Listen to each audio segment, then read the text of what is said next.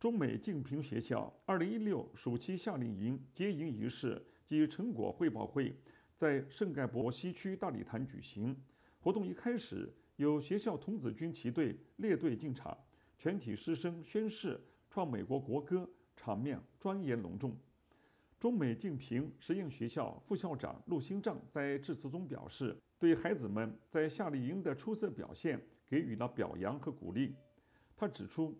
孩子们是国家的未来，做家长的要关爱，但不能溺爱，要培养他们吃苦耐劳精神和自强独立的人格，未来才能成为国家社会的栋梁。我们现在，呃，让孩子啊，在这个富裕的这种生活条件下，要给他制造一些吃苦的机会，啊，制造一些人为的制造一些受委屈的机会，人为的制造一些。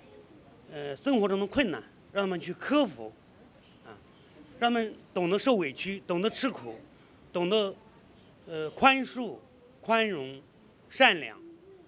这样的话，这个孩子呢，在以后人生的道路上，他就会以苦为乐，啊，他感到很坚强、很伟大、很自豪。夏令营成果汇报会上，孩子们还表演了舞蹈、歌唱、武术和绘画。特别是中文班的孩子，把学到的知识融汇到节目当中，生动精彩。环球东方记者李玉冲、洛杉矶采访报道。